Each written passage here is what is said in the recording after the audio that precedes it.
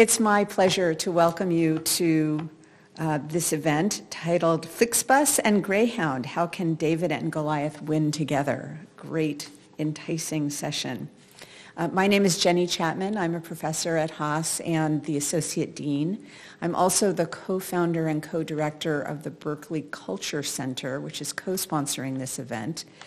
Um, the Berkeley Culture Center generates and disseminates research that enables corporations to stay ahead of real-time challenges and sustain performance-oriented cultures as well as high levels of innovation. Um, and so we're, we're really pleased to be involved in this event. Um, and it's really why I'm so excited to introduce our speaker, co-founder and CIO at Flixbus, uh, Daniel Krauss. Um, and welcome to UC Berkeley. So uh, let me welcome the rest of you. Uh, we're all interested in um, joining you to share and hear your insights about merging organizational cultures and fostering innovation for a diverse workforce and consumer base. It's such an interesting story. Um, I'd also like to acknowledge the strong, strong cooperation among the partners supporting this event we appreciate the leadership of Andreas Altmann, who I just met, um, rector and visiting professor at MCI, the entrepreneurial school in Austria, who connected us uh, with Daniel Krauss. Thank you so much for that. Um, we acknowledge as well the foresight of the Institute of European Studies in making this event possible. Institute Director Jeroen de um, is, the, is moderating the event.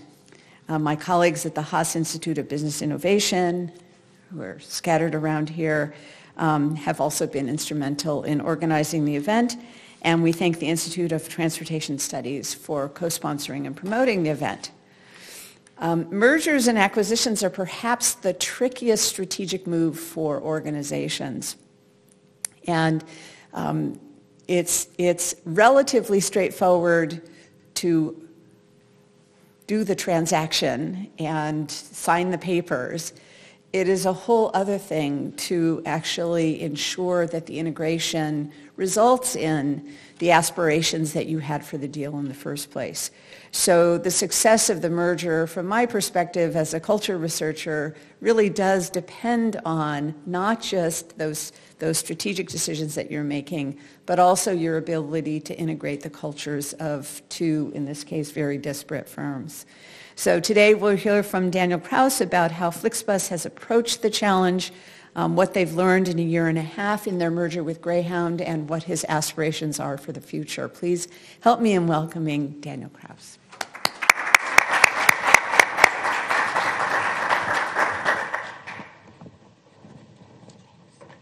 you. All right.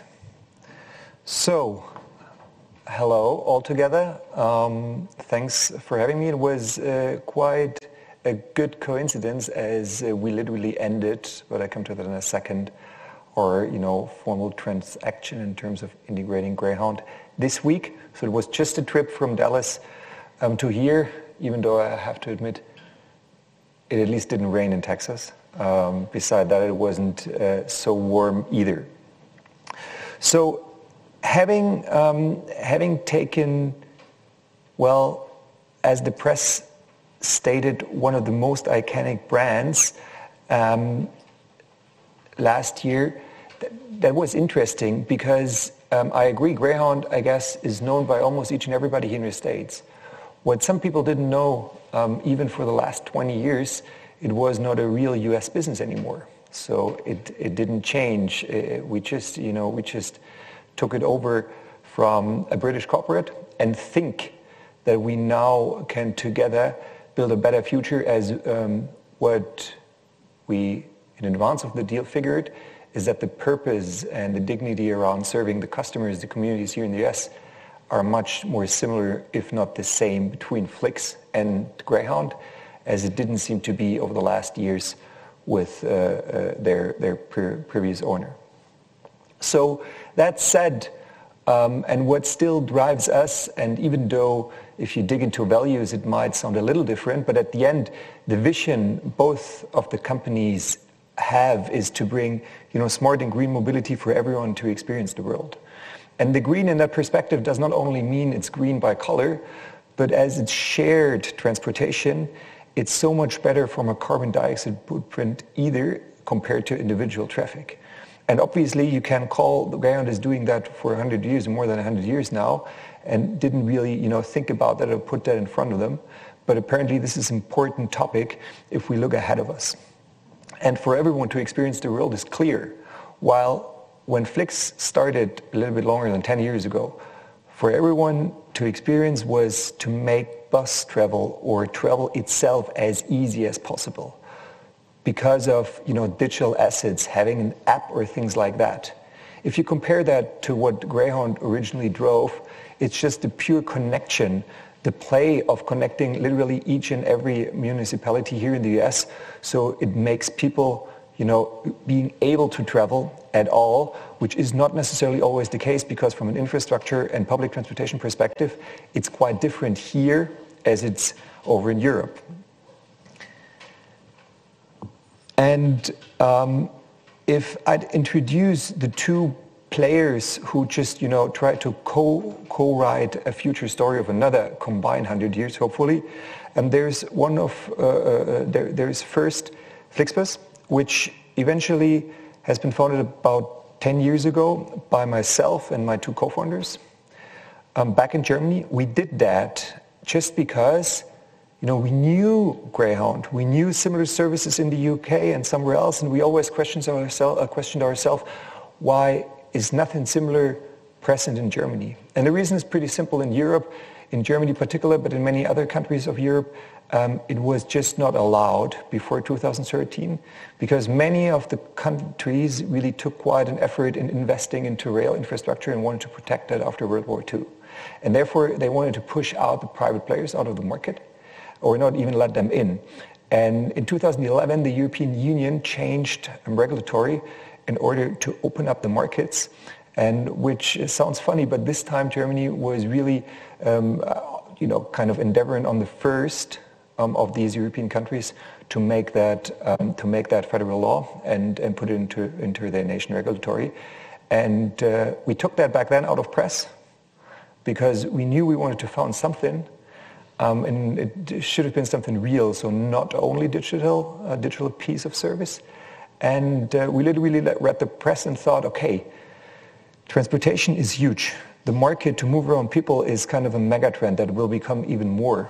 And doing that in a manner which is not only relying on individual traffic could be, um, could be good. And if you compare Germany with other countries, well, obviously for cheaper and you know affordable travel, so to say, there is room um, beneath the Deutsche Bahn, which is our railway company, and, it's fairly expensive. You compare it with uh, Southwest from a service point of view, and even you know uh, have you know 50% on average more um, per mile you'd have to pay. So there was just a market we were able to address, and we uh, we did so and started the business. Um, the main difference between what Flixbus is known for in Europe and what, um, what Greyhound still is in the US is kind of the way we do services.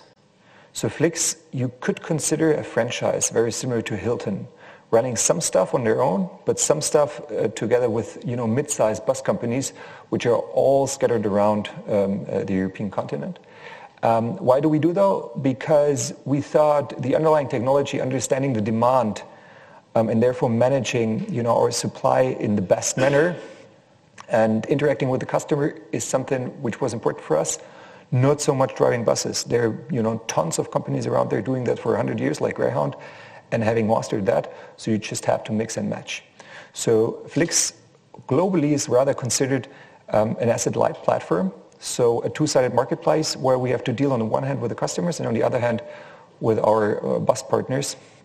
Um, so in the beginning, even some said we're kind of like Uber. The difference is that we're really vertically integrated and are, you know, kind of in charge of the services towards the customer. So if something goes wrong, um, it remains us. And on the other side, um, meanwhile, it's 110 years even. Um, it's one of the oldest bus companies in the world. When we started our business and people asked us, so what actually are you doing? We don't get it. Buses? we back then 10 years ago took Greyhound as the example. And even if it's in Asia, not only in Europe, obviously also across the US, if you ask people about long distance bus services, this is kind of the synonym for what it means. Greyhound has been here forever. And two things happened over time. A, well, as some other companies also, it hasn't been managed terribly well in any of the decades. First. Second, things change. You know, 100 years ago, um, services like Southwest didn't exist, so um, it's just, it was more prominent to take a bus. And, um, and C, you know, the pure focus around the customer, well, eventually got lost here and there. But the product itself still, you know, came up with more than 800 million USD turnover annually. So it's still, you know, tens of millions of people using Greyhound. Nobody would say, yes, I used a Greyhound because everybody's like, oh my God, this is something I don't do. And I heard rumors that even, this was the first thing when I told people, hey, we're taking over uh, rumors. Someone said like, isn't that uh, uh, taking over Greyhound? Isn't that the bus services where people's heads are getting chopped off in the back. I'm like, oh, okay, this is what you say about your, you know, one of your most iconic brands. But apparently that's kind of how bad the repetition was, eventually still is. Still, as I said, 800 million turnover annually means there's tons of people using the service in a manner which means the previous owner didn't take any invest over the last at least 10 years and um, obviously didn't really also know what it means, the purpose to move people around, the dignity to do the best for um, your customers. Um, if you take that medal of two sides, obviously, when we came to the table, we were the David, so to say, because only in the US, Flix was present for a little longer than three years. Um, not even 10% of the people of the population in, in the US know what Flixbus was. Um, and on the, other hand, on the other hand, everybody knew what Greyhound meant even though nobody used it. Um, and it's been around for, you know, one or 10 years. And, you know, the, the fun fact is, each and every Hollywood movie kind of around transportation and, and, and, and, you know, going throughout America is touching Greyhound. When we took Greyhound over, we got a depot here close to LA with, you know, a bunch of legacy buses like Oldtimers just um, for the mean of uh, Hollywood purposes to have them um, in, in some movies. So that's different of the two companies. And actually what people then think, and that's kind of something what can happen after papers are signed, because I agree that's the easy one, is the question is how you combine cultures so it doesn't become against each other. You know, who is in the lead, who eventually follows, and what kind of situation is being recognized. And obviously, you know, the people we found here in Dallas are not only great people, but they really, you know, they had a certain purpose. They had a legacy. They were very proud of what they did.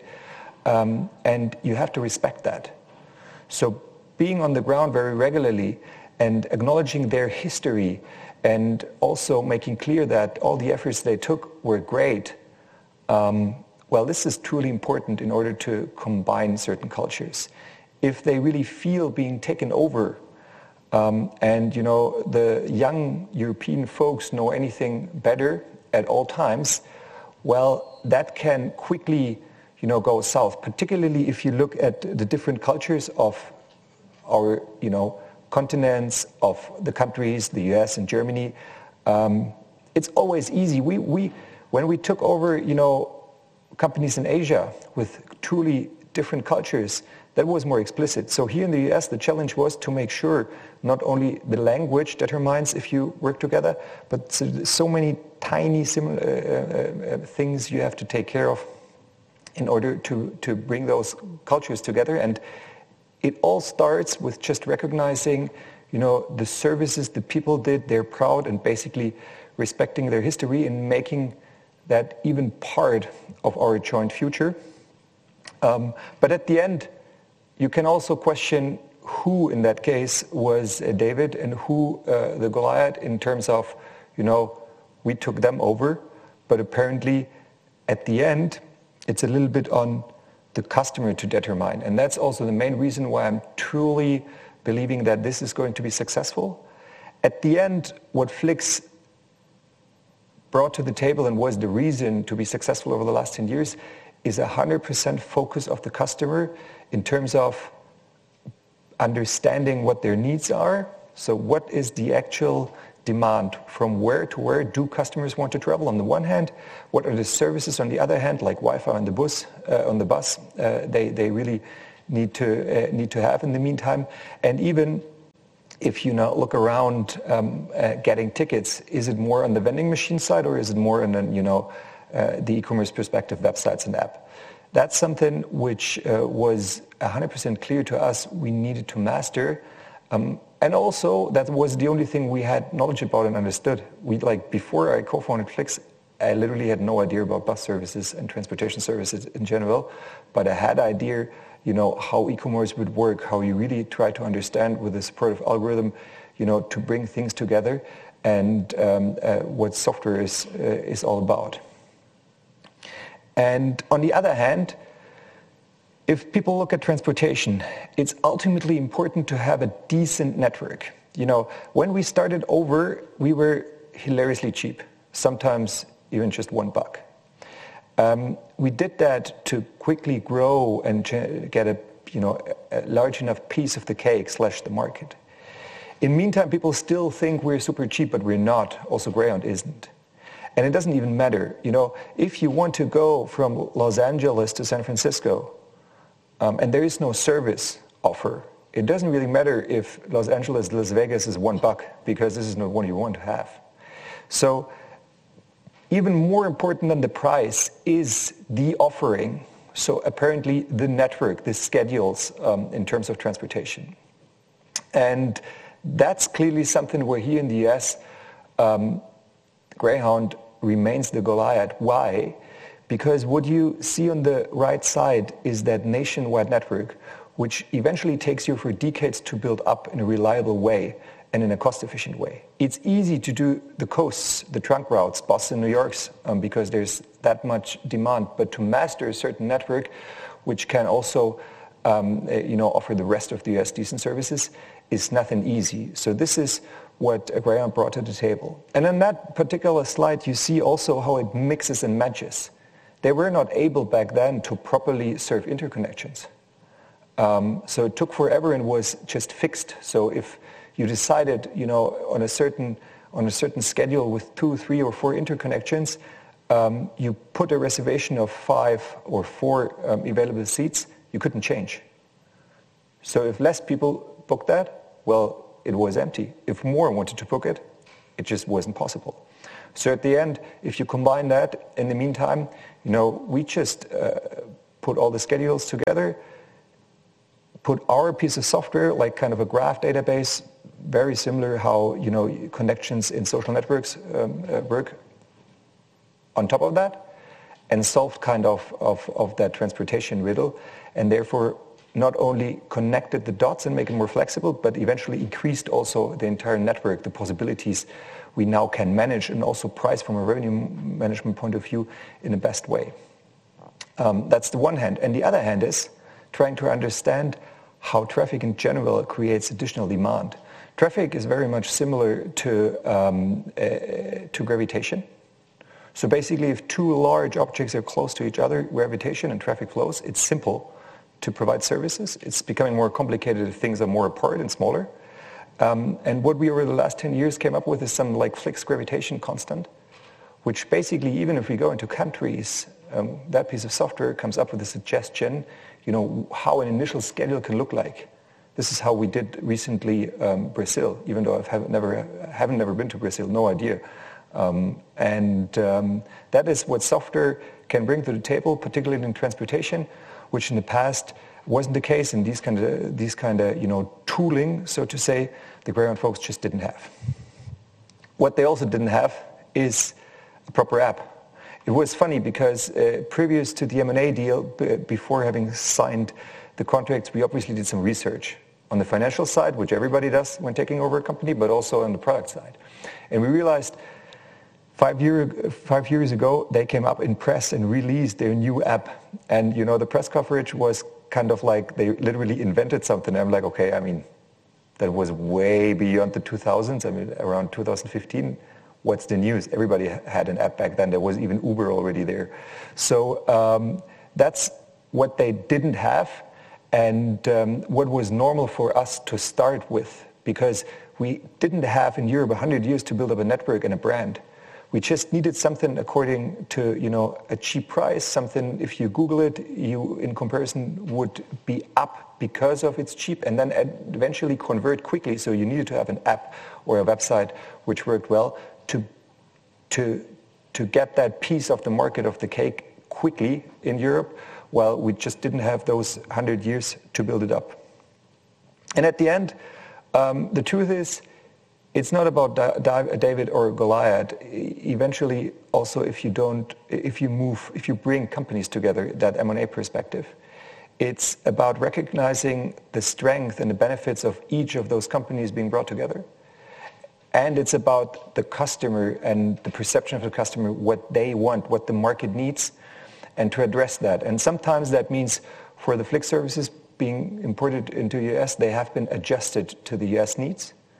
And on the other hand, some of what Greyhound over the last 100 years did just had to be upgraded to you know, the 21st century because it, it seemed here and there that they understood what the customer wanted in the 70s, but that might have changed um, towards today.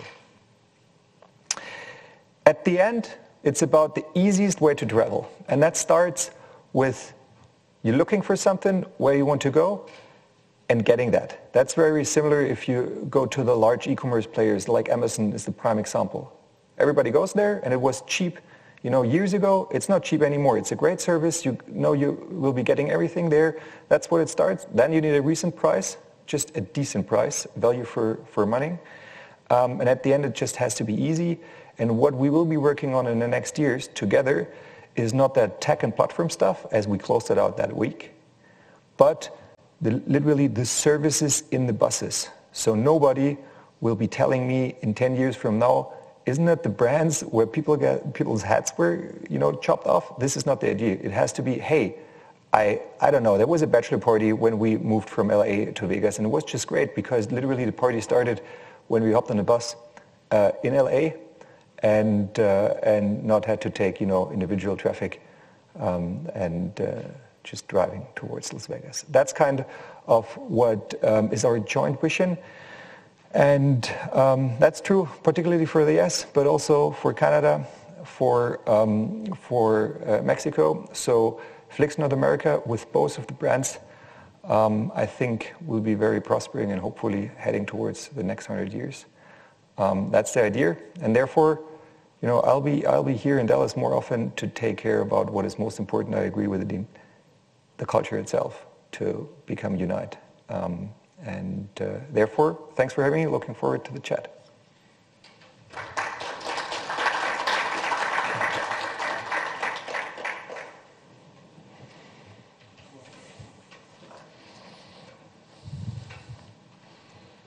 Oh. Stühle. Thank you.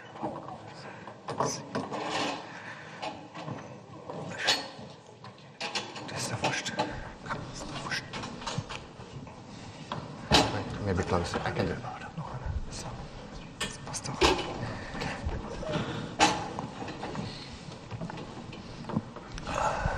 Good. Great. So thank you so much, uh, Daniel. That, that was wonderful. I think we had a wonderful introduction to the company, to your ideas. Um, but you know, we still have some time to go a little bit deeper. And, and maybe I would suggest mm. that we start the conversation with, with Andreas. And, and maybe just Andreas, before you start, uh, let me thank you once more for bringing Daniel to the Berkeley campus, and, and thank you for coming all the way from Innsbruck, and, and we're so glad about you know, this possibility for us to work together and to work on, on a partnership with your institute in Innsbruck, Austria. Yeah, thank you so much, Jeroen. Uh, thank you so much, Daniel. We were really excited to hear when you uh, agreed to come to UC Berkeley to give a presentation on this uh, fascinating topic. Uh, and before I get started, I would uh, encourage uh, the, the audience uh, following us on the live stream to also bring in questions. This is why I have my cell phone, because the questions would come on my cell phone and I'll do my best to bring them in if possible. Sure. But now let me start with uh, my first question. Now, bringing such uh, uh, established and different companies together, what was, if you're looking backwards, what was the biggest challenge, the biggest difficulty to overcome? So, um, if I look back uh, to the last uh, little bit more than one year um, after we signed uh, the papers, it, two things. First of all, you know, that kind of project, um, the, the memories and all the experiences our Greyhounds folks had concerning tech was always bad.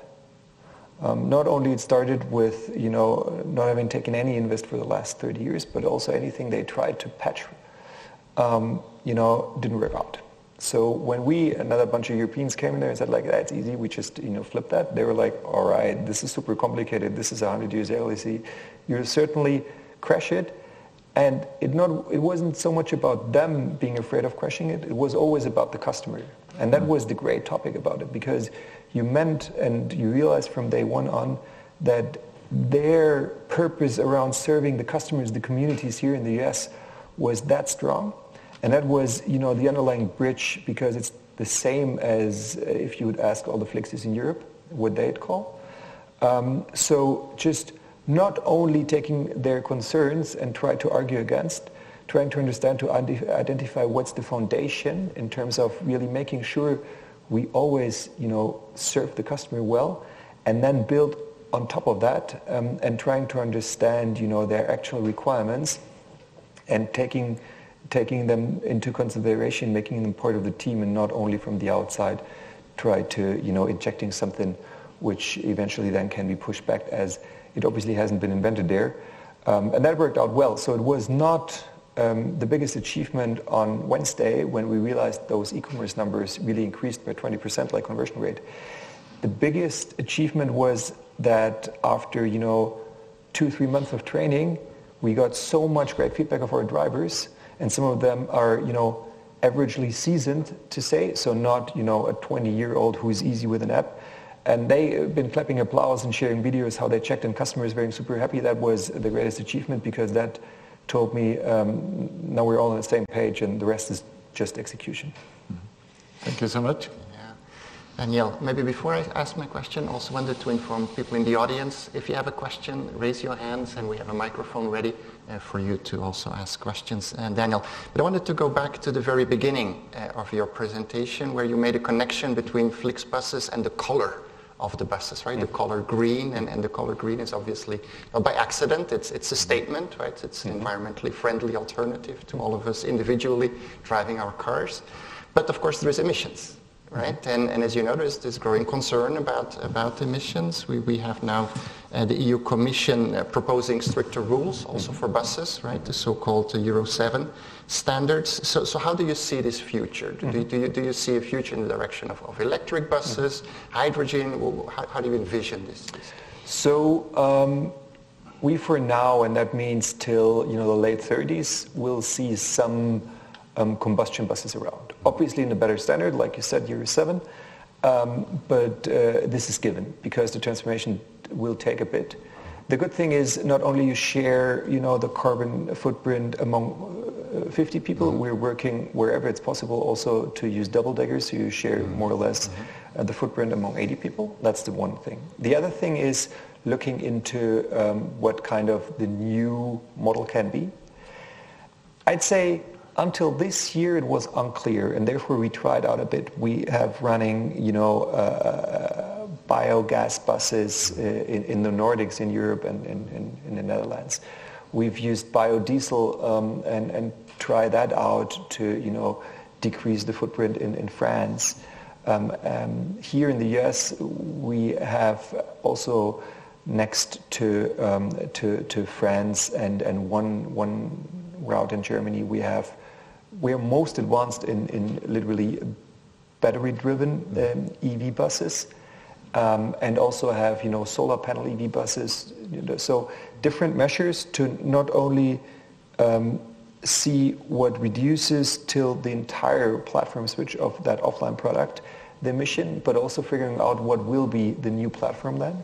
And as I said, it was a little unclear um, till 2023. Now I'm 100%, 99% certain um, that we'll be seeing battery as a superior technology. You know, many people said for some time it will be hydrogen, so fuel cell on the long distance. But the truth is, um, you know, you'd also need to have electricity to, to get to the hydrogen. Mm-hmm. And more steps are less efficient. And eventually you need that hydrogen in industry, just much more than transportation. And the only challenge you had to, to solve, so the riddle was around the batteries itself to become more efficient, long-lasting, and eventually not as heavy. And uh, there were a couple, couple um, you know, milestones, all those ventures around um, a battery EV cracked over the last month, and therefore it became almost 100% certain we will be seeing um, battery-driven EV buses around. But to become really, um, and that not only to, from an industry perspective, but also now from a very individual company perspective, to become uh, really 100% carbon dioxide neutral, that will take, um, and it's rather around the 40s than in 2030. Um, um, what we do is we, um, we made ourselves um, part of uh, the official UN uh, charter and committed to the SBTi targets, so scientifically based uh, targets to really actively work on bringing it down. Um, but until we really hit the target to become net zero, it's rather in the 40s than the 30s. Thank you. Uh, before I bring in my next question, I should repeat uh, the where uh, the uh, questions can be brought in. Uh, the address is livetalk at mci.edu. So I'll repeat it, livetalk at mci.edu, and they would come up on my screen. But now to my to my question. Now, uh, looking at Flix and looking at Greyhound. What do you see as the biggest bottlenecks in both institutions? Is it uh, people? Is it uh, finance? Is it culture? Is it technology? Is it whatever? Is it IP? I, I think um, the answer to the question is changing. Um, and, you know, in the early in the early month of the pandemic, I eventually I would have answered and said like, uh, customers, and that can conclude in finance and, and, and money. Um, now, when uh, thanks God pandemic is over, um, well, our our greatest constraint is people in terms of bus drivers. Mm-hmm. So we'd rather be supply constrained these days, both in Europe, but sorry, even more in the US, than anything else. So it's not, you know, IP and technology and also our internal people. I don't have any doubts um, that works well but literally all of our great uh, blue collar colleagues, uh, you know, doing the actual job. Um, they, some of them are, they, they, they left, um, they left uh, the market, maybe having retired or whatsoever, don't know. And similar challenges all across the world. Um, and that's, that's currently our, our biggest constraint. So supply mm-hmm. um, by, by missing drivers. Mm-hmm. Wonderful. Yeah. Um, we have a question in the audience. So why don't we give, uh, how do we organize this, Chris? We have a microphone yeah. in the back.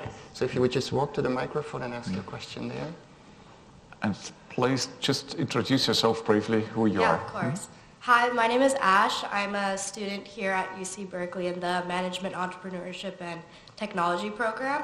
And so the question that I have that I'm intrigued about is how has this affected research and R&D maybe into autom- autonomous bus driving mm-hmm. vehicles, etc.? Mm-hmm. Good one. So uh, obviously um, autonomy at some point will affect us. Um, and obviously that could be part of, uh, you know, cracking that riddle uh, concerning the bus drivers because if it's a scarce resource and it cannot have all the supply needed, um, that's difficult um, because at some time, if you're heavily undersupplied, you may lose um, market share and you may embrace competition, which in you know competition is great, but not because you can't deliver. Um, so part of the solution to see full autonomy, um, you know, maybe also in a time frame close to carbon neutrality, so beyond 2030. Why? because only in some areas like Waymo and Phoenix that wouldn't help us out. you know, we have a standardized product all across the world, uh, now in 41 countries. Um, you know, next year another two, three, or four countries will eventually join the, the map. And that means if I only, I don't know, be able to run those buses in Arizona, I'm nice, but not uh, solving my challenge. And that will take more because of regulatory. I mean, people acknowledged uh, by shutting down some of these startups that it's generally more complicated, but uh, I've no about the technology. I never had. It's more about regulatory. Um, and what I can imagine in the meantime is combining certain levels. So the assistance systems are very high advanced already. We will be heading towards uh, more autonomy. And what is uh, being tried in Europe in the meantime, I just don't know where we are in the US there, is uh, remote controlled basically. So remote control drivers, um, uh, which is also a benefit already because then drivers do not have to, you know, sleep outside and, you know, it's, it's the, the, the scheduled services, it's, it's all just more comfortable. And you can then, um, uh, you know, just remote control buses. And if you think one uh, ahead and mix certain levels of autonomy with remote control, that can mean, um, you know, if you are in a city like San Francisco, it's being remote controlled to the highway and let go on the highway because it's way easier for AI to, to deal autonomously on, on highways or Autobahn in, in, in Germany. And once you're uh, uh, approaching another city slash stop, you someone remote control will take over. This is something I can see earlier in rather, you know, late 20s, early 30s, full autonomy. I, am very much close to where I think uh, we will reach carbon neutrality around more towards the 40s. Yeah. Mm-hmm. Welcome. Exciting. Um, Daniel, I had a question uh, for you about the reputation of Greyhound. You, you alluded to it. Uh, I, I, I, just wanted to share with you a, a, reference, a personal reference to it. I, I, grew up in Europe, right? I came to America a couple of years ago, so I'm, I'm not that familiar with, with Greyhound. And I asked my colleagues at the Institute of European Studies, what's the reputation of Greyhound in the United States? And, and they first smiled and then they started to laugh. And, and that was, of course, you know, uh, uh, significant, right? Um, but my question to you is, is, is the following. Um, a person like you, right, being European, interested in, in this American company, how do you inform yourself? About Greyhound before making that decision to actually, you know, mm-hmm. purchase the company? Did you did you come here incognito and traveled around on Greyhound to kind of see how it so, works? What did you do to, to learn about the company? A couple things, a couple of things to answer the question. Not all, you know, on purpose concerning the deal. I used to live in Detroit for three years, and um, you know, the first time I was in the US, I think, was when I was four or so and throughout that period of time, relatively regularly on the ground, which means I had an idea about Greyhound. I even traveled a couple times already um, from Detroit on, first. Second, um, we started the Flix services because the US is among the largest, uh, uh, you know, long-distance uh, coach markets in the world. So we had to start our services for multiple reasons. We obviously back then didn't know that we, one point in time, will, will have the chance to acquire Greyhound. B, another European company, um, Megabus, started their services here. And C, we were terribly afraid because of the, the size of the market and being more unified than in Europe. If a copycat would have been popped up and being able to really, you know, uh, uh grow fast and large and, and, and conquer the US market, that would have been a, a, real threat towards us because with that, you know, power of the market coming to the European continent, could have become serious. So we thought to prevent that, we started our services four or five years ago as Flix North America. Um, and obviously they're in competition with Greyhound, with Megabus, um, with some of the local Chinese buses in, in the East Coast we gained experience in competition, what um, worked well, what didn't work well. Um, you know, as I earlier uh, uh, mentioned in the pre-discussion, we realized in our first services, uh, LA to Las Vegas, that around 90, 90% of the Flix customers never even traveled with Greyhound.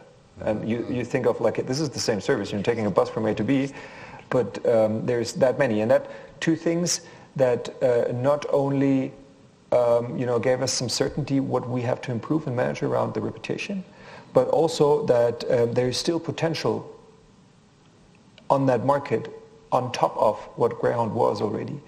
Um, and, and that's great because you know then you know you have you have growth potential. Just one short follow-up question. Did you consider at all dropping the name and, and just changing it completely Yes. one big We- Flix, yes, yes, yes, we did. Yes, we did. And two things. We thought because of the reputation it might be that bad that it's more a harm than anything Mm-hmm. else. But there's a saying, even bad reputation is at least reputation.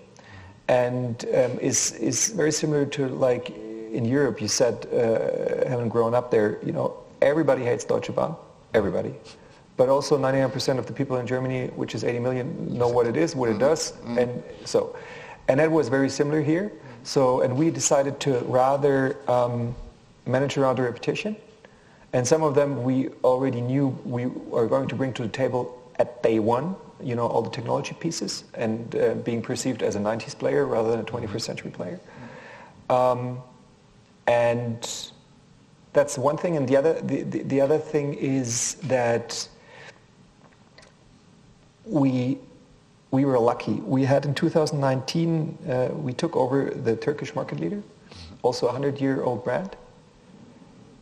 And when we did that, we recognized, even though it's the same services, we didn't know Turkey well enough. Now, I guess we knew the US better, but what that teached us is like, you know, be even less arrogant than you think. Um, so we were even more cautious about, you know, and the reputation is also third party, you know, talk to third party people. And then only having taken two rides is not enough. So we were like, hey, would I change Coca-Cola if I just, so, and then the obvious answer was rather no. What we clearly did and started from day one on is separating the brands. So we can serve those 90% of the people eventually have never used a, a Greyhound and just attract them to Flix. Um, and on the other hand, you know, uh, keep and improve the services to the people who, who've been grown up with Greyhound forever because they may even not have an alternative. Um, yeah. Thank you. Yeah. We have a question in the audience. Uh, Chris? Hi, Chris Bush from the Institute for Business Innovation. I wanted to follow up a little bit on the slide you showed about some of the new services you're planning to offer. Could you maybe talk a little bit about your customer discovery process, both in Europe and in the US, and how you merge them to determine what customers are, are looking for? Yeah. So um, basically what we do is um, we try to understand our customers on, on all the touch points we have. So that can start with regular surveys. You'd push out, you know, um, via via uh, your your e-commerce touch points and interfaces, but that can be also um, on the buses at the stations, um, and um, and then try to prioritize and weight those, and eventually compare with the other regions. Um, also to have a proper prioritization because obviously we have it's not a constraint, but still limited resources. And we have to make sure we come with features according to um, what is, you know, not only individual highest customer need here in the US, but eventually the global highest customer need because we decided to go with a single inventory strategy. So if you, you know, register, book a ticket here in the US, fly to Europe on vacation, it will recognize you and then, you know, you book on the same system. Um, and therefore, we have to balance uh, globalization and regionalization, uh, regionalization uh, quite a bit and try to identify um, the individual buckets of customer needs throughout, you know, surveys, hanging around at stations, um, and then balance that across the entire world, um, what will be the most important service to come up with. Um, and um, as simple as, as simple as, uh, as we had that early, early up, we now will, um, you know, change our Wi-Fi infrastructure almost globally because um, it's simple, but that is it's just a must. It's delay, on-time performance, friendliness of the driver, and um, the Wi-Fi connection. So friendliness of the driver sounds obvious, but it's super complicated. You have to train them, you know, make them aware of anything needed. The on-time performance, I think we can already start working on with the additional platform services we brought to the table and have migrated Greyhound on top of. So, and the, single most other relevant topic is Wi-Fi connection, connectivity, and that's something we're now working on, um, which is not a real feature, but it's still, this is, this is huge. People just want to be connected. Yes, before we go back Which, to which actually also applies to universities. You can deliver the best service if Wi-Fi doesn't work, you're dead. Uh, Uh, Andreas, before we go back to you, I, I see we have another question in the audience, and so if you wouldn't mind going to the microphone, so people. Hi, I'm Michael Postl, Austrian Consul General here in uh, Los Angeles and the West Coast. Thank you very much for very interesting seeing also the combination of European and US companies. And that brings me to my questions. When you look and you mentioned the regulatory environment, when you compare the US and the European regular, uh, envi- regulatory environment, uh, what is your assessment? And maybe to add up to that, because you mentioned uh, the future will be uh, electronic vehicle batteries, uh, and we as diplomats are very much looking into the impact, also as diplomats, on the IRA and the Green Deal. So would that have an impact uh, for your company uh, Yeah. in the future? Thank you. So um, I start with back. The Green Deal has an impact because um, I think it was a necessity to have framework in Europe to really, you know, support initiatives. In in the past, we're not an OEM. We don't produce buses. In the past, we always had the challenges with any other great idea we had. The large manufacturers said like, yeah, nice idea, but this is just there is no. Why should we? You know, it's I look at Martians, and what you do is uh, just uh, investing, and it takes forever, and I just build another combustion engines because it's easy to. So that was important from a framework perspective, the Green Deal, big fan. Um, obviously, and that's the other answer in terms of regulatory, that clearly shows not only in transportation and any other industry, the advantages of a united, large market you can address. And that's also true with the IRA. I mean, Europe has been put billions on the table to uh, overcome COVID. I don't know, not even 10% or so is withdrawn. So it's not a problem of money. Um, and at the end, it's a problem because it's a mess of certain federal, state, and even you know country level, uh, which is not the case here. It's just two layered, federal and state, and um, and not three layered even. And um, and it's a clear market. So we don't we address uh, uh, uh, the same size of the market with one single regulatory adjustment into our world, into our company, into our systems, while in Europe we'd have 30 something or so adjustments to deal with. And just from a cost perspective to run that profitable, it's a mess. Um, and you know, if people talk about diplomats and you know politicians talk about, I agree. We had, we need to have um, uh, uh, to re-bring up, you know, those um, cross-Atlantic um, uh, trade agreements. They should solve their trade agreement stuff in Europe first. That would be a large enough market. I mean, I'd love the Americans to have on board, but you know, why just don't they unify the market first? Um, uh, so that's that's my answer to that, um, and that was also the answer why we had to make sure we are the leader in the US. If not, if someone becomes leader in the US, the market wave they can be surfing, if that swaps over to, to Europe, it's hard for the over-regulated you know, industry, independent if it's transportation or something else, to, to fight against. And you do not want to fight against. You want to serve the customer and not, you know, maintain regulatory needs.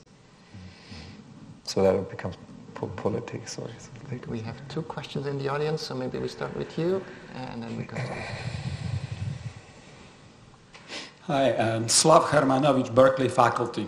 I actually tried to use the link Andreas. I uh, saw it. You were you were in my in my in my list. Okay, so I'll ask in person. Uh, you operate essentially two bus companies uh, in two very distinct geographic areas. What uh, are the differences between customers' uh, expectations and customer drivers uh, if, and that presumes that Yeah. Europe can be treated as one area? Yeah. Probably not. But what can you tell about, uh, you know, why, why people want to drive, take these buses both in uh, the green one and the Yeah. blue one?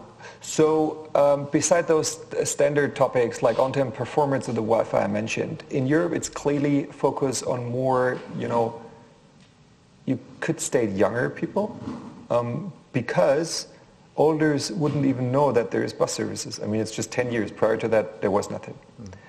While age doesn't determine so much here in the US, it's more, you know, where you live and uh, what part of the society you belong to. So it's affordable travel, um, and uh, people who eventually, you know, uh, take private jets, I don't think I'll see too often in my buses.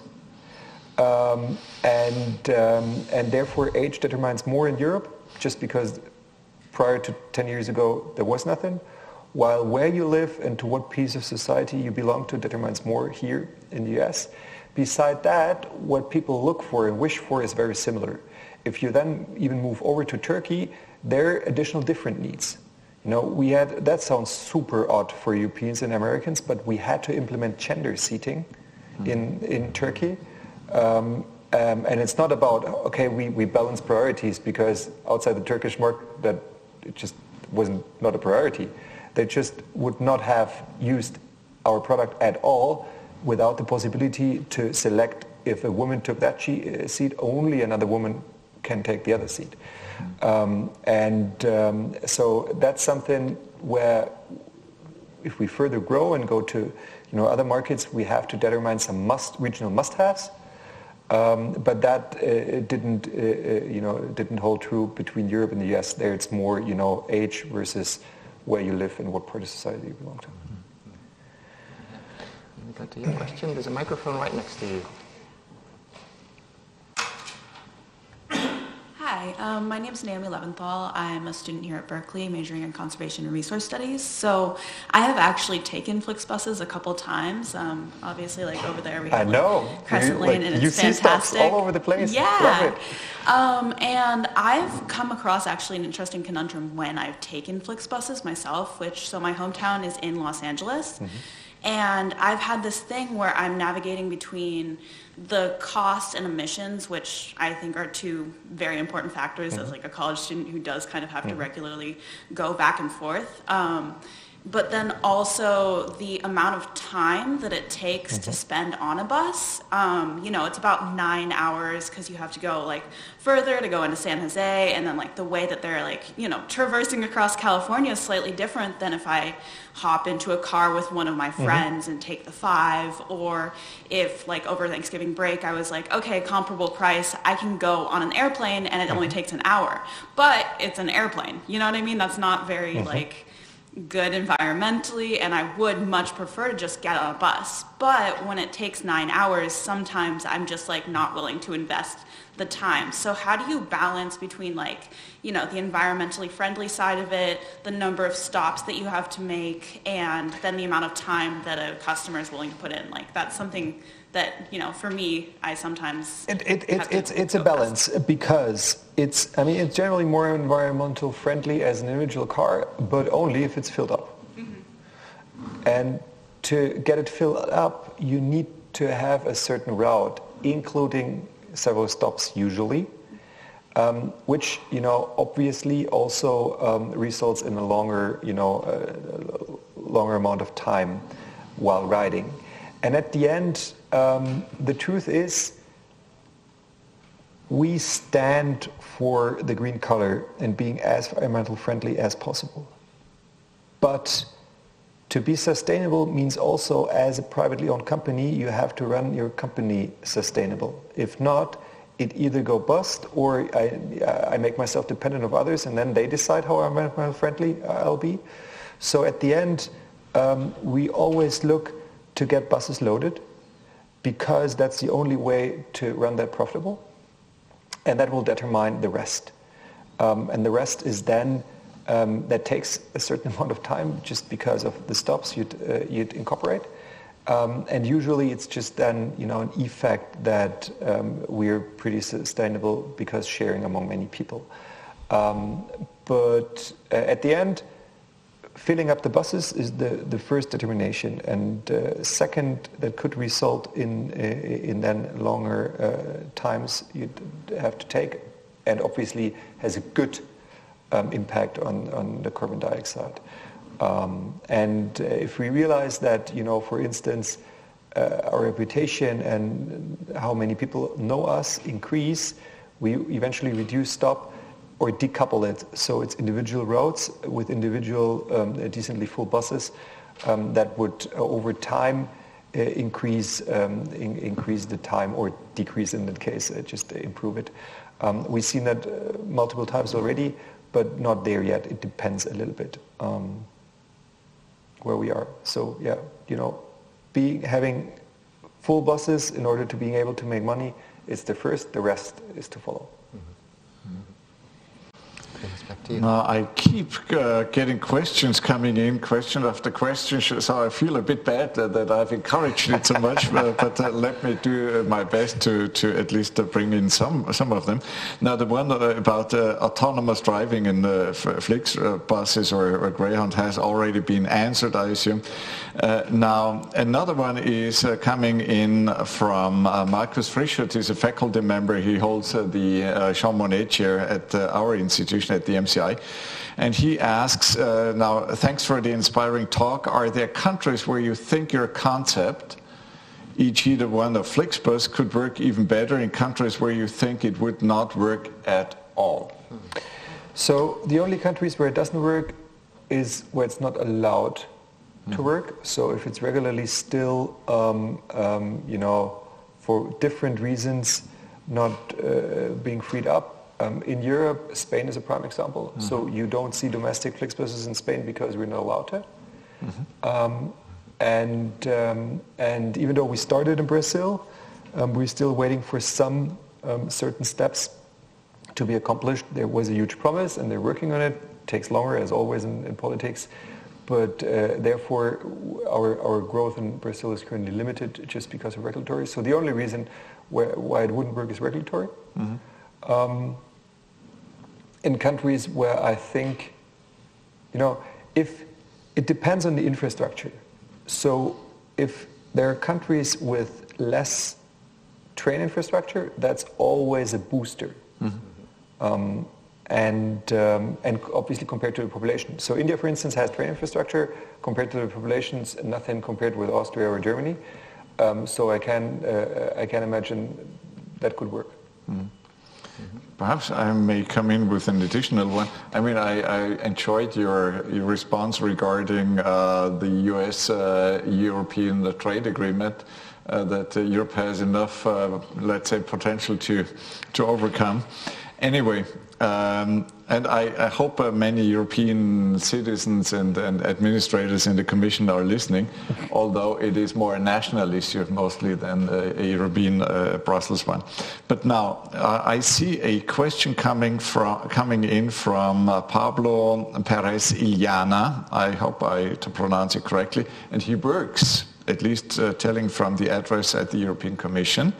And his question goes, now from, from your operations in the US and in the European Union, what could the EU learn from the US and uh, vice versa, what could the US learn from Europe?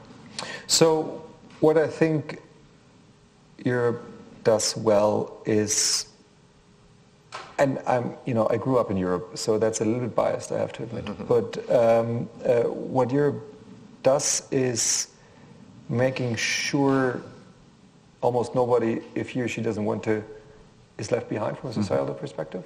Mm-hmm. Um, I enjoy that. That's that's good, um, and this is also what drives me as an entrepreneur. And I know each and every, almost each and every entrepreneur here I know in the U.S. Um, has been driven by the same. Um, but sometimes, and, and they fill the gap partly, but uh, uh, you know sometimes um, it seems that, and you know, just taking that anecdote, I was running in San Francisco downtown yesterday, and the last time I was in San Francisco was pre-pandemic, and downtown didn't get better. Let's say it like that. And I think there is something uh, you can do as a society represented by a government, and there uh, I, I, see, I personally see advantages in Europe.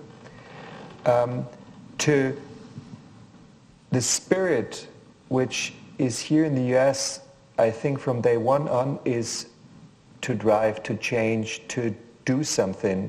Um, so the entrepreneurial spirit, which we try running around to educate people with in Europe, in Germany, you know, hey, why don't you, you know, start something up?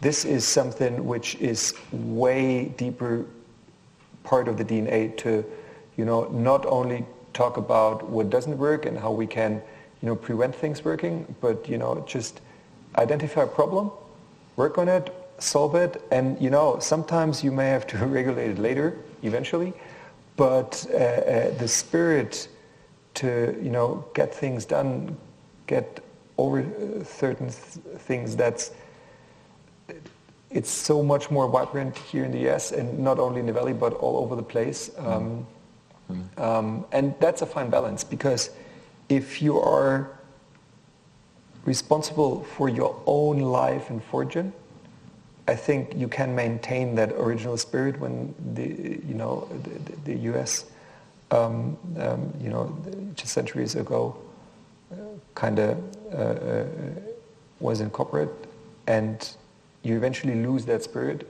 if you're mm. always helped out by the government. So it's a fine line um, mm. because even though I said this is what Europe does great, if I would be the US, I would do also quite a bit to not lose that spirit. Mm-hmm. Um, if you want to, you can just move to Europe. That's mm-hmm. easier. I think there was a question also in the audience, if I was not mistaken from you, right? If you would ask a question. Hi again. I was wanted to circle back, I think, to one of your questions, which was kind of talking about um, airplanes and budget travel that way. Um, I'm curious to hear about how Flixbus kind of thinks about its strategy in comparison to these budget airlines, um, and in mm-hmm. terms of, I guess, convenience, yeah. etc. So couple, couple layered answer. First of all, um, we do not only do domestic, but also um, cross-border. This is usually quite an advantage, even if you compare ourselves with Southwest. First of all, we also are able to serve certain communities which, uh, even with Southwest in the US, have not any close airport towards to. Moving over to Europe, there also the Green Deal and things around that support us. You, you may have read that in France, for instance, um, you know, domestic flights uh, uh, have been forbidden as long as a decent um, high-speed rail connection exists. Uh, just because as long as you know the, airline industry has not a good idea about you know carbon dioxide challenge, um, that's something which is supportive um, for us um, in Europe. So it is competition. Fun fact, it's more competition here in the US than it's in Europe. Um, but I think um, we're positioned to, to deal with that decently. So um, overall, there's still more in the US, how we stated car or couch. So people don't travel at all because they hang around Netflix or the individual cars. And in Europe, beside car, it's, you know, trains. It's just, you know, state-owned uh, railways. This is the, the largest competition here. Yeah, I, I, would have a number of questions and uh, also on my little uh, sheet of paper, but uh, there is one coming from Gabriel Brandstetter. He studies international business, business and law at the MCI and it goes, are there any plans to make Greyhound business, the Greyhound business more asset light in the future? Um, it kind of happened already through a pandemic. Mm-hmm. Um, you know, some of that, um, as I said, uh, when we, you know, took the Flix brand to the trunk routes, that's mm-hmm. in the standard Flix model. Mm-hmm. Um, so it kind of happened already. But some will just um, stay as it is because if it's a good deal, um, also together with the regional governments uh, to make sure all the communities stay connected, then it's fair. I don't believe in the concept of asset heavy versus asset light. This mm-hmm. is, this is, you know, 2000s, uh, you know, when, when all those Ubers and platforms appeared. At the end, I believe you have to have a certain level of vertical integration um, so you cannot become redundant. And therefore, in our case, I'd call it rather an asset right mm-hmm. um, concept, and that's what we try to maintain depending what is needed. Mm-hmm. Now, may I bring in a question coming from a different background? We are now sitting uh, at Haas School of Business and the students, especially students, but also faculty members are around. Now, out of your experience and your uh, needs as an entrepreneur, what would you think uh, universities would have to deliver more? Uh, what is lacking? What is, uh, is there certain expectations towards universities to more, better serve uh, the, mm. the, the, the, society or to, be, to be more entrepreneurial or to also support the careers? The truth is, that's not easy to judge for multiple reasons. A, it's been a while when I graduated. B, I obviously have a closer insight into European universities. Um, you know, when I used to live in Detroit, um, and and back then that was challenging during automotive crisis, and I thought uh, if it's a good idea to take an MBA, I two things I recognized back then, and that's you know 2007, eight or so. Uh, the, the, the curriculums were quite business focused. So the, the topics we addressed earlier today, you know, culture, um, you know, business ethics seem to be a little bit underrepresented. I mm-hmm. don't know if that changed. Um, and obviously, I believe education is the key principle to solve humanity's challenges yes, education and entrepreneurship, but if you have no idea, no education about what entrepreneurship means, well, you'd, you'd not end up there. Um, and that becomes particularly true also if people shoot at each other. This mm is usually because they have no idea what, how, how, what different measures, better measures, mm you have to solve your problems. Um, and then obviously you need both. You need excellent education, um, like at MCI or in Stanford, mentioning those two because they're private but you also need, um, um, you know, the ability to have education to all of the people who are in need and who want that. I know also here in the US with scholarships and the support and being in, at the UC, which is, you know, just you know, public, mm-hmm. this is great. Um, but that's something where I think, um, you know, even more can be done. And uh, in Germany and Europe, again, in most of the cases, entrepreneurship in particular is totally underrepresented. Mm. I've had no clue, uh, not after uh, uh, when I graduated from high school, nor when um, uh, when I did my uh, undergrad, even in masters. No, essentially, I've no, had no idea um, what that means to, to run a business when I when I graduated. Mm. May I bring in a question from a UC Berkeley student, which I have on the screen, on the screen to not just represent the MCI. Now, Travis Fraser, he's a UC Berkeley student, uh, sent me the following question. Can you explain the logistics of the merger in regards to existing Greyhound infrastructure, mm-hmm. so, such as hubs, physical locations, mm-hmm. as well as staff? Mm-hmm. So the staff is easy because that's needed, um, particularly the staff, um, you know, on the ground, blue collars, so to say, whether it's clerks or drivers needed, easy. Um, it's just a matter of training. In terms of the infrastructure, um, well, uh, this is a project uh, which is currently going on.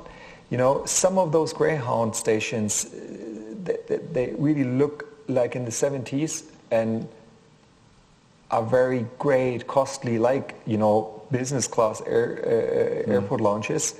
And what we ask is, as I said earlier, is that what the customers value? And if the answer is no, we have to uh, find different solutions. Mm. You know, some of the most successful stops in the US are curbside stops. Mm. it wasn't an on-purpose decision to do that in New York as a curbside stop um, because it just works and people want to have it centrally and safe, so with you know light and, uh, and, and proper eventually New York pu- public transport connection, but they wouldn't care whether it's Port Authority or no. Mm. Um, Port Authority is uh, not the best example because this is just, you know, aside of, uh, aside of uh, the main train station, uh, Central Station, uh, the area where you'd go to, and, and we eventually put all of our stuff there because we couldn't um, uh, before the merger but um, wherever it's not um, reflected by the customer's willingness and what they what they would like to and need, we'd rather reconsider um, how large the stations would have to be. Mm-hmm. Um, what we learned is we never had a good ticket vending machine solution in Europe, mm-hmm. so we are now taking the US one, which works perfect. They just uh, injected our system, and um, that means we may roll out more of them. Um, and then we only have to take care about that's the, the prime the prime requirement is it has to be safe or at least perceived like uh, it's being safe um, and not necessarily any lounge stuff and super fancy things. So that's something we're working on to determine where, which is the case, and then eventually change um, stations to a more cost-efficient, but at the same time more customer-focused approach. Mm-hmm. Excellent. Yeah, um, Daniel, that would be my, my last question uh, for you. Um, so we spoke a lot about about customers, about directors of the company. We haven't spoken much about about the drivers right? And, and when you think about the customer experience, when you think about complaints, right, the driver plays an essential role in all of this. So what do you look for when, when, when, you, when you hire drivers? When, what do you look for when you train drivers? What is important to you?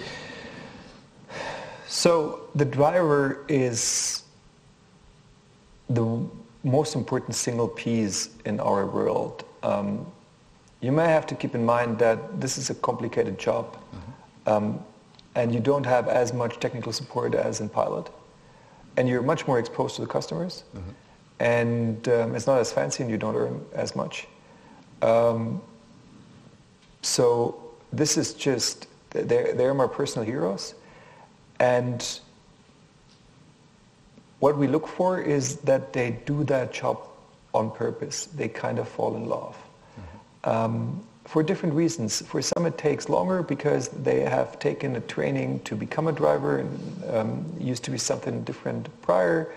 Um, for some of them, they feel the responsibility and eventually uh, were drug, uh, drug drivers but now want to take care about people rather than goods. Mm-hmm. Um, but at the end, it's all about that they fall in love and, and, and have a certain passion. Um, and, and that's something which is you know, this is even more prominent here in the US as in, in Europe. Because in Europe we had to create that, also that common sense of passion, the, the common culture as in that kind of, you know, rather partnership and franchise model.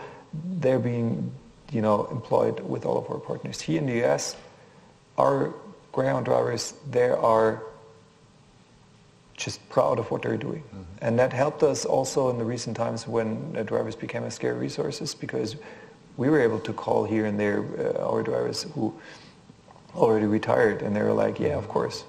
Um, I did that my my entire life, and I just this is what I want to do. Um, and um, that's great. You need to have that passion because it's just a super hard job, and if you don't love it, um, um, you can't handle that. I mean people, as we know when we're traveling, it's a stressful thing to travel, and we cannot uh, we can make it as comfortable as possible. But at the end, things go wrong. Your connection is lost. You know, it's raining. It's it's always a mess because at the end, what you want is to reach your destination. This is the reason why you travel. Nobody says like um, some of them running around in buses because they love it, maybe, but 99% more, almost 100% go there because they want to, you know, reach their destination, mm. and that means even the little things create stress. And these people are there to make sure it's as comfortable as it's possible. Um, and people feel safe and, um, and not only feel safe, but obviously, uh, you know, the services uh, they provide um, uh, is, is uh, done safe. So this is just um, awesome. And therefore, you, you have to look out if, if they really, if they love it. Mm-hmm. Yeah, thank you so much, uh, Daniel. That was my final question for you, but I will go to ah. Andreas. To, to Actually, we I think we need to come to an end, uh, but I have a, a double double final sure. question. I mean, I, I, I anyhow have to keep in the uh, stay in the building for a while because I mean, you know, this better. There's nothing better. I, uh, Actually, we shouldn't confess that it's raining out there. Uh, we're in beautiful sunny California. Uh, can we take the question in the sure. audience still? Hmm? Hi, um, I'm an engineer working at Haas for the Institute of Business and Innovation, and I have just one last question, sorry. Uh, my question is, why do you think uh, Greyhound wasn't working? Like, why do you think it has such a bad reputation after all? Um, the main reason is, well, there are multiple main reasons. I think they didn't know. I think they, um, they just didn't know for different reasons because it changed over time. In the past, it was an icon, it worked. And then it, it, stopped working because you know, the previous owners eventually didn't take any invest to make it better. So they had to run buses which are older than I am, and the same is true for their core inventory management systems, so their tech. Um, and then, you know, you still think oh, everything is great. I, I, I, come up with an anecdote. I used to play volleyball, decent. Um, I had to stop because of my knees, and when I stopped, I still played quite good. 15 years later, my brain still thinks this is how you play. The last time I was on court was eventually the last time I was on court because that was a very painful experience. Um, as uh, my body told my brain, uh, my brain, no, that time is over. Um, and there I had the direct feedback of my body. The Greyhound in that period of time, you know, the 90s, I, 90s, they didn't even have the tooling, not the direct feedback. They, they just, they, they had no surveys, they had no um, idea Mm. And then they just kept on going, and then they lost their customers, and um, and didn't, you know, they're stuck in in their own uh, legacy. Um, so not on purpose, just because the outside didn't give the support. As that, the owners didn't take the invest, and therefore even tooling was missing to really make sure they are able to identify what changed. Um, so that's about it. So it wasn't on purpose. They all, I, all of the people I got to know in Dallas, even if they one day loved their stuff. Um, and it was never on purpose. Um, it was just an accident because nobody took care. I try to avoid comparisons to universities now. But uh, my, my uh, final question is a double one. The one is, uh, you have uh, students sitting in here in the audience and also listening uh, via, on the live talk on the digital one. Now, what kind of advice would you give to these young people to be successful or to have a decent life or whatever comes into your mind? Uh, what, what, would you, what kind of advice would you give? And the other one, which goes perhaps a bit together, is what is your biggest dream, your personal biggest dream? So I'm far not in a position to give advices. But when we talked about bus drivers, one single thing is important. We'll all see hard jobs. Um, even though I find founding and running a company very fulfilling, it's not always easy. Um, so what is important is we all have to find the one thing we love because then it doesn't feel like work. Mm-hmm. And then you have a fair chance to, you know, to have a, you know, a fulfilling, a fulfilling life. Um, and my dream, well, the ugly truth is my 30s, so I'm now turning 40 that year. So the years between 30 and 40 were the most productive I've ever had. You know, founding a company, um, still running and successful. Um, together with my wife, uh, um, just uh, managed to get two cool kids. It's currently, I'm, I don't know. Um, the good thing is with um, you know the two kids and the third kid like Flix, um, they keep me busy, so I remain in the flow. But I know once I may decide to take a break or rechange myself, I first of all will take a couple months to find out what my next dream is. Um, I currently I, I, don't have one. It's just uh, I, I'm I'm glad to to live my my last dreams ongoingly um, and then manage the new when I need to. Not yet. Thank you. Wonderful. Um, let me then uh, conclude the event by, by thanking, of course, the Haas Business School for hosting us today. I wanted to thank also the colleagues from MCI uh, Innsbruck for making this event possible. I wanted to thank uh, all of you in the audience, both people in person, and people who follow this uh, today online. But of course, the biggest thank you goes to today's speaker, Daniel Krauss. Please join me in thanking the speaker. Thanks for having me.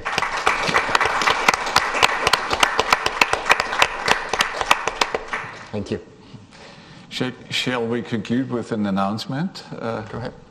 Uh, if you uh, want to join in, there will be a digital live talk this Wednesday, so the day after tomorrow. It uh, will uh, have the pleasure jointly to welcome the first Vice President of the European Parliament, Othmar Karas, and it will be again on uh, www.mci.edu uh, slash live talk and I think there's also a link uh, you will uh, provide mm-hmm. and it is on uh, Europe, uh, Europe and the United States uh, let's win together so let's look forward to the, the, the upcoming Wednesday and the time is one hour later than this one began so it will be 11 Berkeley time, and uh, it will be 8 p.m. Uh, European or Central European time. Mm-hmm. Thank you. Thank you so much Thanks. for being Thank with you. us. Excellent, Daniel. Thank you so much Thanks. for being Thank with you. us.